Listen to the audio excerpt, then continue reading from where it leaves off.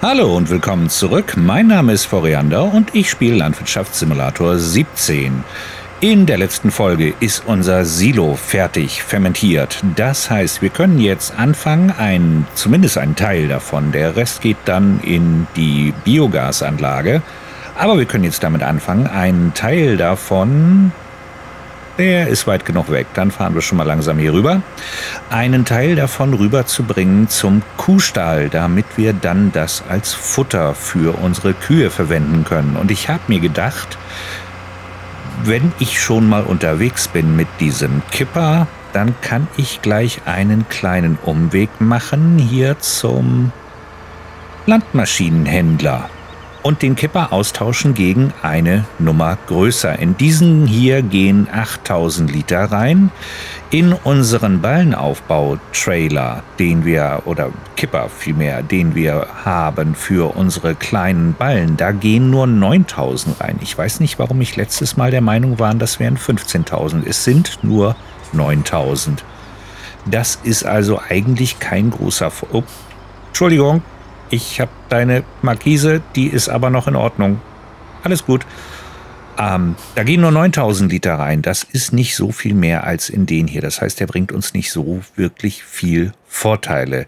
Ich möchte jetzt doch noch eine Ecke mehr haben. Der bringt zweieinhalbtausend. Das ist ja.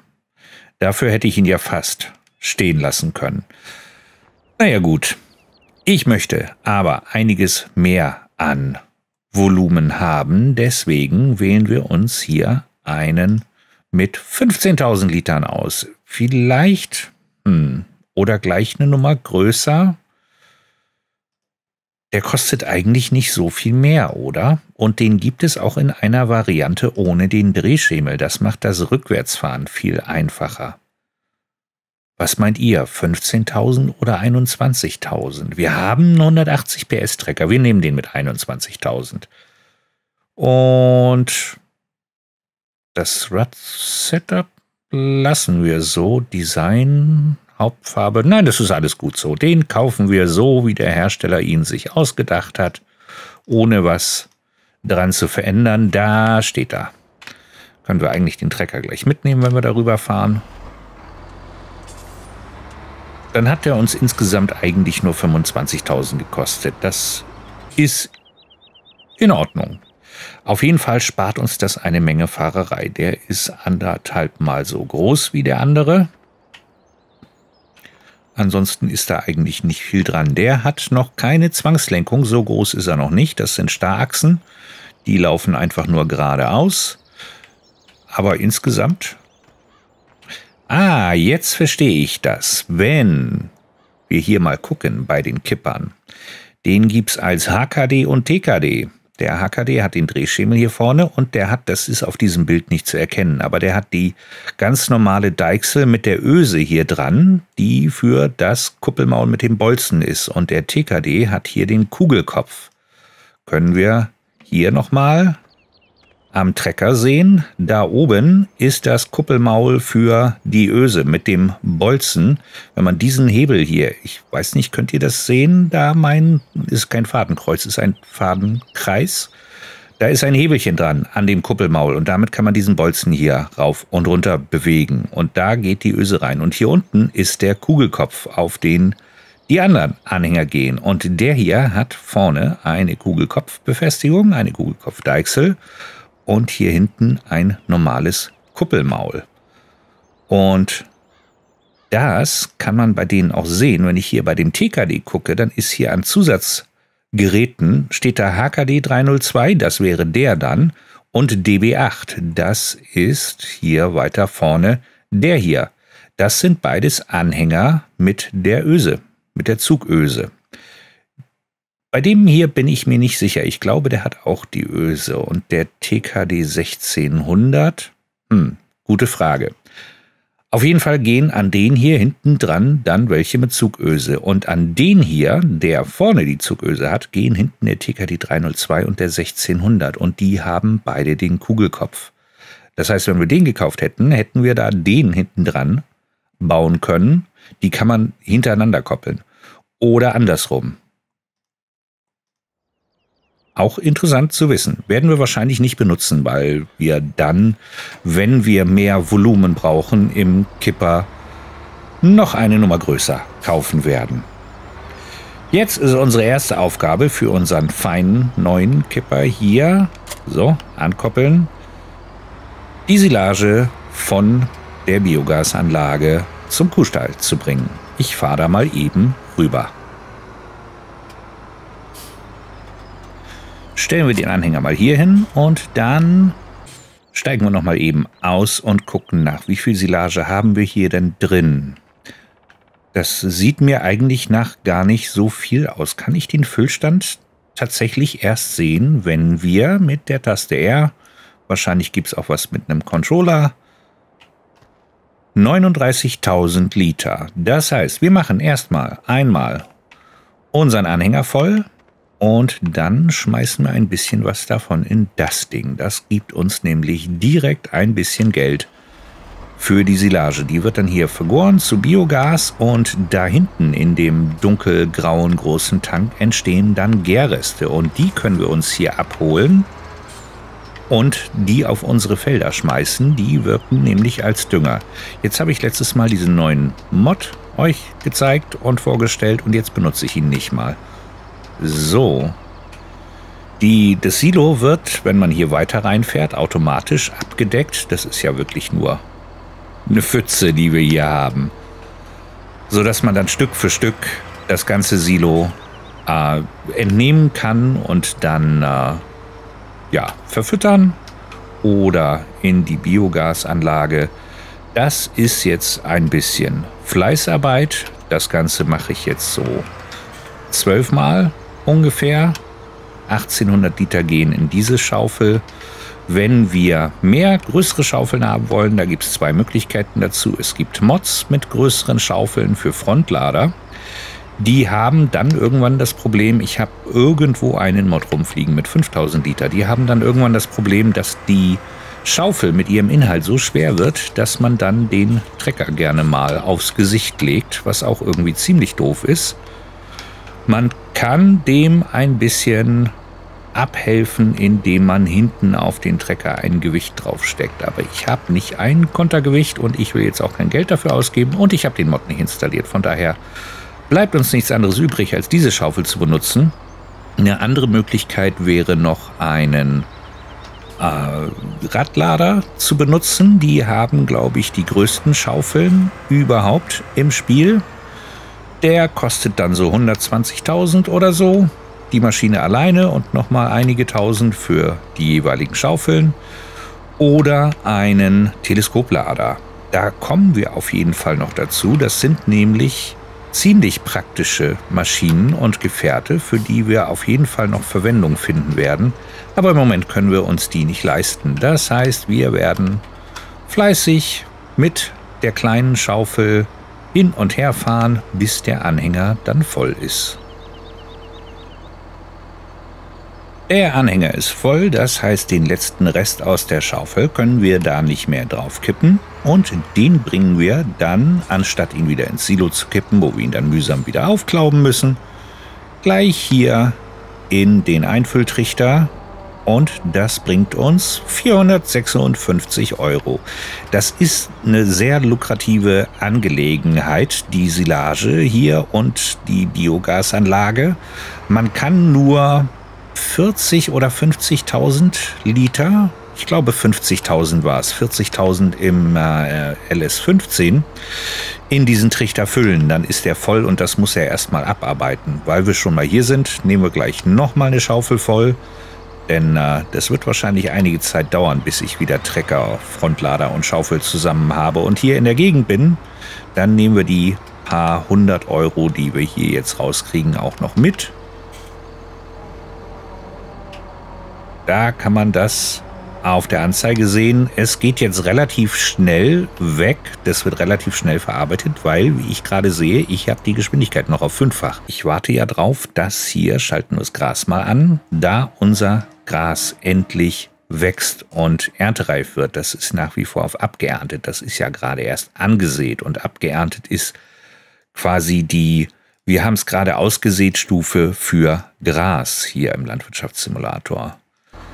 Das wollen wir heute auf jeden Fall noch machen, das Heu, was da ist, aber das dauert noch eine Weile und in der Zwischenzeit bringen wir unsere frisch abgefüllte Silage so rüber zum Kuhstall.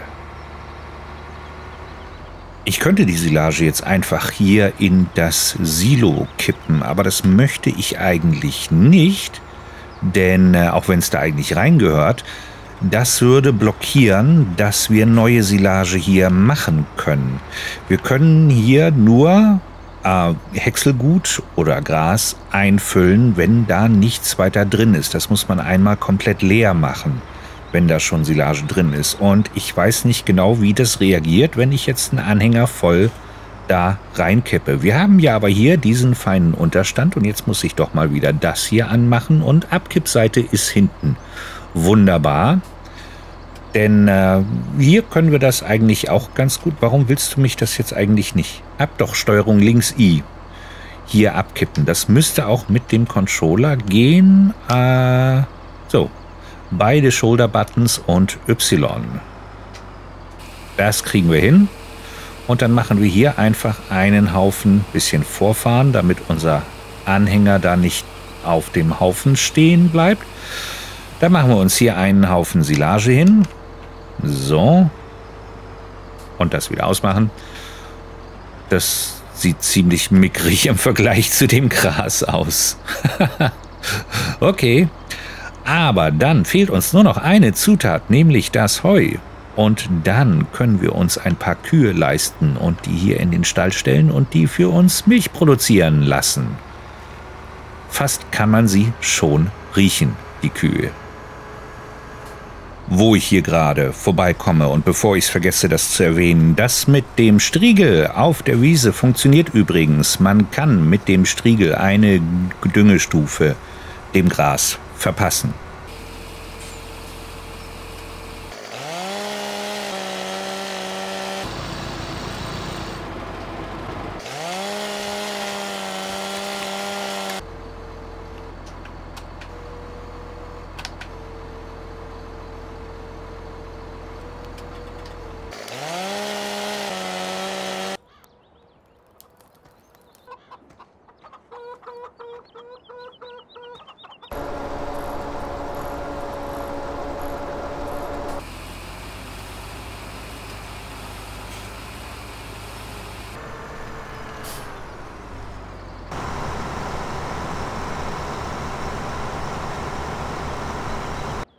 Es hat wie üblich ein bisschen länger gedauert, als ich gedacht habe. Aber wenn wir jetzt mal in unsere Karte schauen, dann sehen wir hier, wenn wir das Gras einschalten als Feldfrucht, dass unser Feld 19 endlich erntereif ist. Soweit ich weiß, ist es bei Gras genau wie bei den anderen Pflanzen egal, welche Stufe der Erntereife man aberntet. Das ändert nichts mehr am Ertrag. Wenn wir aber da mal rübergehen, hier auf der anderen Straßenseite, dann können wir sehen, dass dieses Gras doch noch, kommt keiner, dass dieses Gras doch noch eher spärlich aussieht. Das ist bei den angesäten Feldern aber relativ normal. Wir haben da drüben aber auch noch, ich habe ja in der Montage eben gezeigt, da den Raps da hinten habe ich abgeerntet, den habe ich zwischendurch auch wieder neu angesät. Das heißt, angesät habe ich da hinten Sojabohnen und keinen Raps. Und hier unsere beiden Felder Gerste, die sind auch reif. Das heißt, als allererstes, bevor wir anfangen, uns ums Heu zu kümmern, greifen wir uns den Mähdrescher und ernten das hier ab. Das können die Helfer nebenbei erledigen. So. Und die Strohablage zeigt er mir wahrscheinlich erst. Da, jetzt zeigt er mir sie an. Anschalten bitte. So. Und dann können wir einen Helfer dafür einstellen. Und uns selber vom Mähdrescher zurückziehen. Und der legt uns jetzt hier schön das Stroh hin. Da können wir dann noch überlegen, ob wir das aufpressen oder ob wir das mit dem Ladewagen aufnehmen. Und äh, dann einfach direkt verkaufen. Wir wollen dann jetzt... Mh, hm, ja, nehmen wir den New Holland. Brauchen wir nicht unbedingt den großen. Große Nachfrage für Wolle. Ja, meine Palette ist leider noch nicht voll. Können wir nachgucken? Was sagen unsere Tiere? Äh, 32 Prozent. Nee, das lohnt sich nicht. Das lohnt sich nicht. Aber ich muss demnächst mal wieder darüber fahren und ein bisschen für Sauberkeit sorgen. Bevor wir das machen, nehmen wir uns aber mal das Mähwerk. Einmal hier. Und irgendwo hatte ich einen Heuwender hingestellt, den ich voller Enthusiasmus gekauft habe und den wir seitdem überhaupt nicht gebraucht haben. Da ist er. Den hängen wir hinten dran. Ich habe noch nicht ausprobiert, ob das so funktioniert. Es müsste aber eigentlich, hier in dem Spiel kann man ja magischerweise gemähtes Gras mit einmal wenden sofort in Heu verwandeln. Und das sollte eigentlich auch funktionieren, wenn wir vorne am Trecker das Mähwerk und hinten dran den Wender haben. Fahren wir einmal rüber zu Feld 19 und äh, in der Zwischenzeit können wir einmal hier ausklappen und einmal da vorne ausklappen. So, und dann hinten einschalten und absenken und vorne einschalten und absenken. Macht einen fürchterlichen Lärm alles zusammen. Aber ja, da kommt dann hinten direkt das Heu raus. Genau so, wie wir es geplant haben.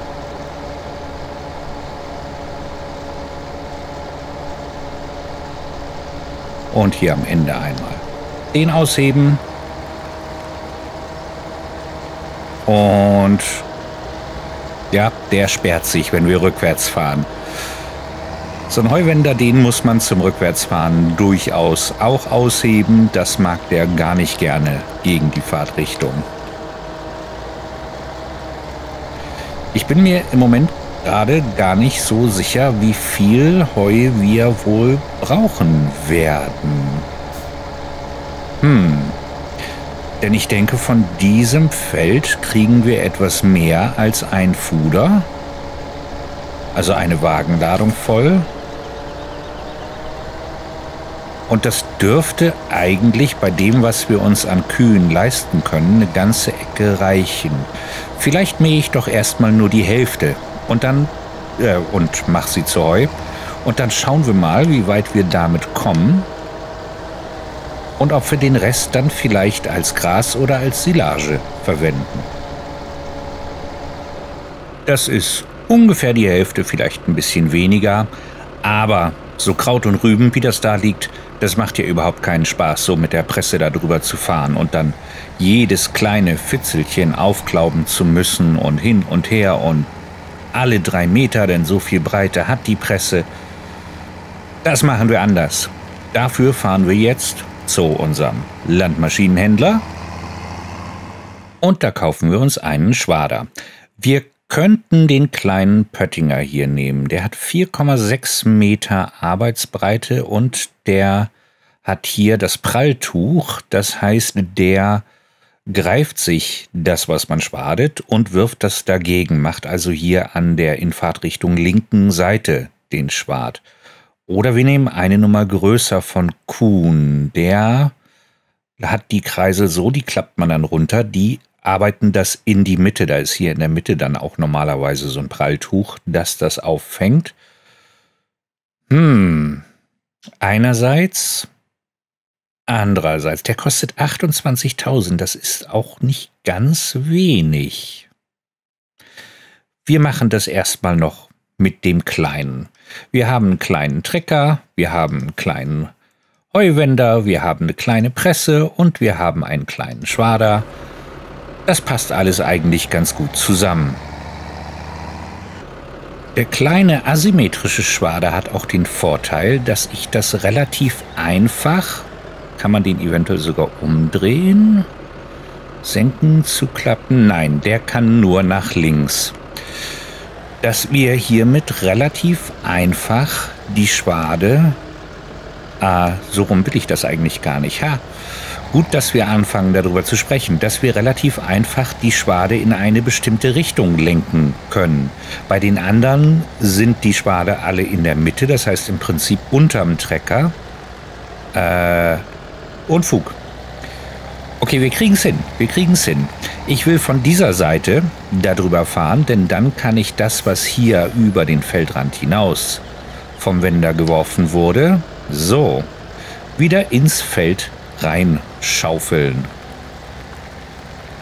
Und dann können wir, da habe ich ein bisschen was verpasst. Und dann können wir Stück für Stück so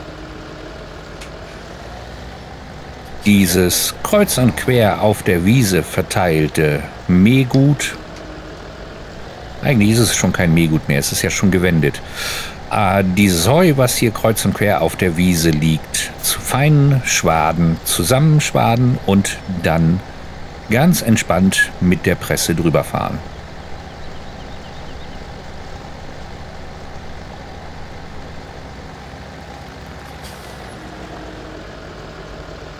So in drei Schwaden abgelegt sieht das Ganze doch wesentlich eleganter aus, als wenn man da so einen Heuflocati hat, den man dann einzeln aufpicken muss. Mit dem Teil sind wir fertig. Hier drüben hat der Mähdrescher Helfer auch schon das erste Feld abgeerntet und ist jetzt beim zweiten. Da muss ich so ein bisschen ein Auge drüber haben, drauf haben, drüber vielleicht auch, um dann immer mal mit dem Anhänger neben den Drescher zu fahren und den abzutanken, damit er nicht stehen bleibt und sinnlos Geld verschwendet. Und während das passiert, stellen wir mal unseren Schwader. Ich habe den Wender, genau, ich habe das hier auf dem Hof stehen lassen, da wir ja noch gar nicht sicher sind, ob wir das eventuell nochmal brauchen.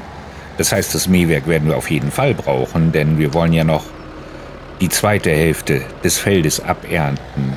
Aber bis dahin werden wir uns jetzt mit dem New Holland hier unsere Presse schnappen, die da hinten irgendwo rumsteht.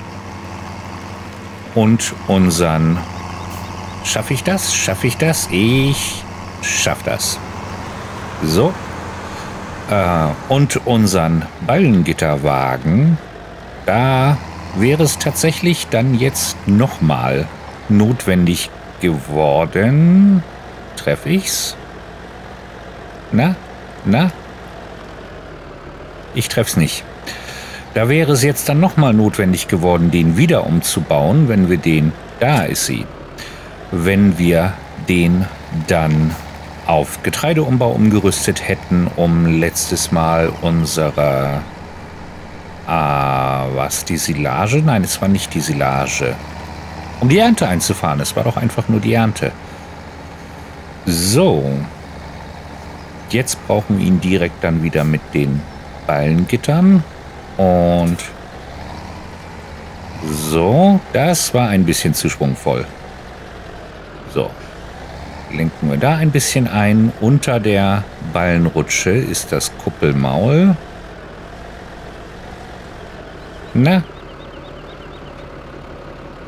Ah, nicht ganz. Müssen wir noch ein bisschen genauer dran rangieren. Da ist es. So, jetzt haben wir auch den Wagen dran. Müssen wir ein bisschen ausholen, damit wir den da nicht gegen den Pfeiler fahren. So, dann können wir jetzt endlich, nachdem ich so lange davon gesprochen habe, unser Heu aufpressen. Ist doch ein etwas längeres Gespann jetzt. Fahren wir hier einfach mal quer durch die Büsche, die können das ab. Während der Fahrt können wir schon mal die Presse ausklappen. Und dann müssen wir bei dem Anhänger auch noch, und da weiß ich nicht, welche Taste das ist, den Arbeitsmodus einschalten. So. Und dann können wir uns an das erste Schwart machen. Presse einschalten, Pickup senken und ab geht die wilde Fahrt.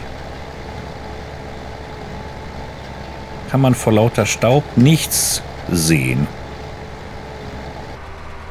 Zwischendurch einmal schnell den Drescher leer tanken. Es ist doch insgesamt eine ganze Ecke weniger rausgekommen, als ich dachte. Ich dachte, ich hätte hier schon ein gutes halbes Fuder voll, aber es sieht mehr nach einem Drittel aus, vielleicht sogar nur einem Viertel.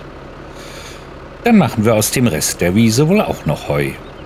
Und das nächste Mal warten wir dann, wenn wir die hier abernten, bis zur dritten Reifestufe und schauen dann mal, ob uns das mehr Ertrag bringt.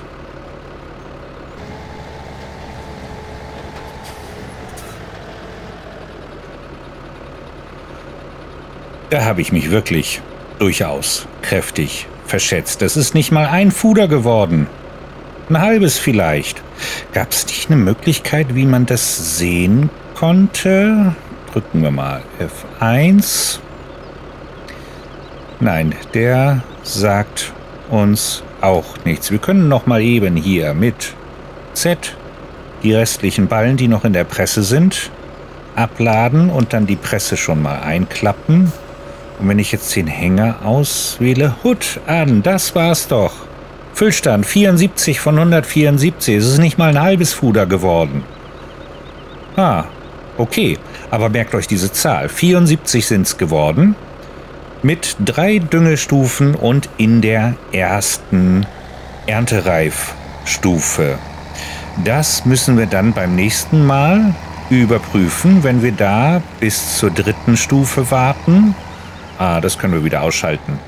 Wenn wir da bis zur dritten Stufe warten und dann erst mähen und wenden und schwaden und pressen, ist äh, insgesamt doch schon ein recht aufwendiger Vorgang, so Heu machen. Dann müssen wir das mal vergleichen, wie viele Ballen wir dann daraus kriegen. Erstmal bringen wir jetzt aber unsere Presse weg, denn mit der und dem Anhänger rückwärts manövrieren, das kann man machen, aber das möchte man in der Regel vermeiden. Und ich werde mal, stellen wir den mal hier hin. Ich werde die mal, wo stelle ich die mal hin? Da ist ja eigentlich sonst nur noch der Frontlader, der Kipper, der kommt wieder unters Dach im Unterstand. Dann kann die Presse eigentlich auch ah, nicht so schwungvoll. Dann kann die auch hier in der Ecke stehen. Dann ist es nicht ganz so weit, wenn wir sie das nächste Mal holen. Denn wenn wir uns jetzt gleich demnächst Kühe anschaffen, dann werden wir die weitaus öfter brauchen als bisher. So, da steht die eigentlich ganz gut. Unser Mähdrescher ist mittlerweile komplett fertig mit den beiden Feldern und da hinten der Kipper am Waltra ist auch so gut wie voll mit Gerste. Das Stroh liegt da noch rum, da müssen wir uns noch drum kümmern. Aber das sind alles Geschichten, die warten können. Erstmal bringen wir jetzt unser Heu rüber zum Kuhstall. Neben der Silage wäre eigentlich ein schicker Platz dafür. Das heißt, jetzt kommt meine zweitliebste Beschäftigung, einen Drehschemelanhänger rückwärts manövrieren. Ich habe mir das, wenn ich das im echten Leben gemacht habe, gerne. Das kann ich eigentlich mal ausprobieren, ob das hier auch funktioniert. Da habe ich mir gerne den Wagen andersrum angekoppelt. So, das müsste eigentlich gehen, jawohl, das geht. Zum Manövrieren ist das ganz nett, denn man hat da kürzere Hebelwege und man muss nicht immer so den Hals verrenken, um nach hinten rauszugucken. Dann kann man den nämlich ganz entspannt und elegant hier fein gerade so rückwärts hin manövrieren. Ja, das ist gerade genug. Und dann muss ich nochmal in die Hilfe gucken. Abladeseite B. Nicht links, nicht rechts, nach hinten bitte. Und den fahren wir dann doch nochmal ein bisschen weiter rein. nicht ganz so weit. Das, was der da als schraffierte Fläche anzeigt, ist, meine ich, kürzer als das, was er eigentlich... Nee, bei dem könnte es hinkommen.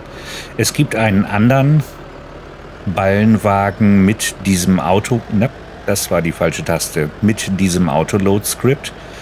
Der zeigt auch so eine schraffierte Fläche an, aber die ist wesentlich kürzer als das, was er dann ablädt. Und wenn man dann...